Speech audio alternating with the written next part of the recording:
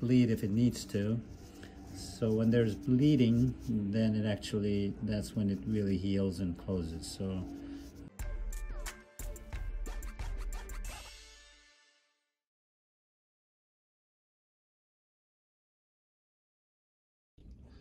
Okay, we have Erwin here. We've been uh, putting what we call a Unna This is a venous stasis ulcer. He has some vein issues where the area opens up and it has a big hole of ulcer, which we've been treating. So weekly we've been putting Unna which is compressive, and then it's got a medicine to heal this area. So it's looking a lot better. We'll show you the before picture with a very large uh, ulcer here, or opening. But now what I'm doing is I'm just cleaning this uh, ulcer off and then keep it clean and then uh, let it uh, bleed if it needs to. So when there's bleeding, then it actually, that's when it really heals and closes. So we want it to show some bleeding too, but if it doesn't bleed, that's okay too. But if we can clean it out, then it really heals the area nicely. So I'm just cleaning all this area. Right now, we'll show you before and after picture. So how we doing, Armin? Pretty good. So far, so good. Yeah, he's been coming every week very patiently, right? Yes. Like a real good patient. He's determined to close this yeah. and be done with, right? That's right. Yeah, so we had a very large opening, but now it looks almost closed. It looks really nice. So I'm just cleaning out all this um, that tissue so that it's gonna look nice by the time we're done. It's almost like a callus, but it develops this. So we want to just keep it clean. So you, after we put the winter boot on, you have to keep it dry, huh? Right. So yes. how do you keep it dry? Do you like uh, put a bag over it or taking a shower? How do you? How yeah, do you when, yeah. When I get ready to take a shower, I would just I, I, I usually wrap it pretty tight. Yeah. Put, put it four different bags. yeah. So he's been really patient. Yeah, he's been very patient and willing to work with us so we, we get this closed. But we're almost there. This There was a big hole here, which we can see here.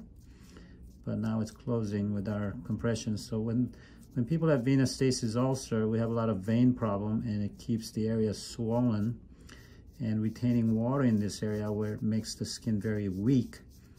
And then it opens up uh, and become an ulcer because the skin is paper thin from the uh, chronic uh, inflammation of the area. And then retaining of water makes the skin very weak like a paper thin. So this area can kind of break open and have an ulcer which is very dangerous because it can get infected and has all the problems. So so as you can see I'm just cleaning out this whole area. It looks very good. There's really no opening here anymore. And the other area looks very good too. So I'm just cleaning out all the that tissue so it's nice and clean. And I'm also going to put another layer of uh, what we call a Unna which is a uh, impregnated uh, uh, like medicine. And then it compresses and keeps the swelling away and then it heals the area and it keeps it dry for a week. And we've been doing this weekly for uh, quite a few weeks now to get to this level. So it requires a lot of um, patience and understanding and being careful with this area so this can all heal. Once it's healed, hopefully it won't come back so we can maintain it with a nice brace that he already has. So that's kind of what we're doing. As you can see, I'm continuing to work in this area. This is some area that needs all this dead tissues out of there because these dead tissues kind of get in the way of healing. So I'm just cleaning it nicely. You've had this also how long? I mean, you've had it for a long time, huh? Long, long time. Actually, it, it healed up, but mm -hmm. but the uh, skin remained rough. Uh huh. And it keeps it opening never, up. It, it, never speed. It never smooth out. Mm-hmm. But this is the best I've seen, though, right? Yes. Yeah, this is really good right now. This is uh, very promising. That this area start looking like normal tissues, skin tissues, so it's very nice. And requires a lot of attention. And I put some, uh, what we call a Silvadene, which is an antibiotic cream that's made of silver, which is very good for the skin.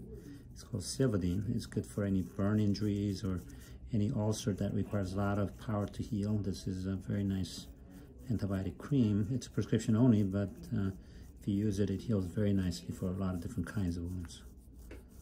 So I'm just cleaning up as I'm continuing from the different spots, writing all these areas.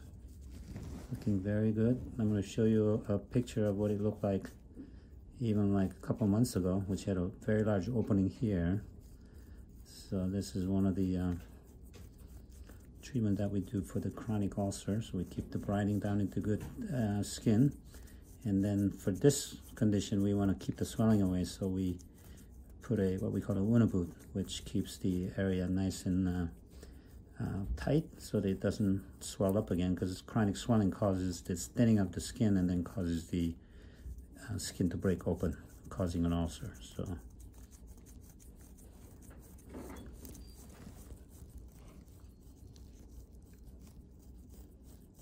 I just keep working at it. And then I'm gonna, this looks nice where we're gonna put a, some Silvadene cream and then we're gonna wrap it up again with the, with the, what we call Uniboot. So that's what we're gonna be doing. So it looks very nice. This area is all closed. So that's kind of where we are. Looks really nice. So clean up this area a little bit using alcohol to show you what it looks like. As you can see, this area is very nice now. And I'm gonna put some uh, cream, which is this white cream, just to make sure it wound heals nicely right in the center of the area. Then I'm going to put what we call a Uniboot, which I'm going to show you how I put it on. I'm going to put a little pillow underneath here. Is used to this, so he knows exactly what to do. So this is a uh, medicated uh, little dressing that I put around, start from toward the knee area. I'm just laying on it. I'm not doing it too tight because we don't want to tighten up too much, but we're just laying on it all around the area, including the ulcerated area. Keep going around. This way the swelling is minimized and then the skin becomes stronger so that it all heals nicely. So I'm going back up and then coming back down and then that's kind of where it ends and I kind of massage it in a little bit then I put a little bit of padding with our a little bit of gauze roll around to give a little cushion since it's kind of wet we want to keep the wetness a little bit away from the outside so we put this bandage all around it.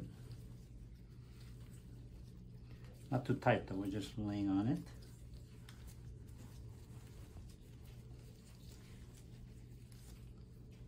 And then we put a little bit of compressive pressing with this. Start from the top,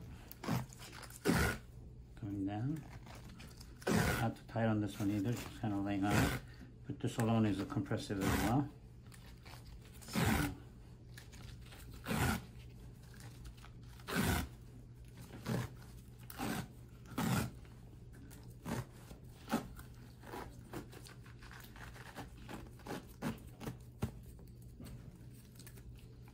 Kind of sticks to itself. So we have it kind of molded in a little bit. And then that's it. He keeps it dry for a week. I'll see him next week and then we clean this area again and then this is how we do it.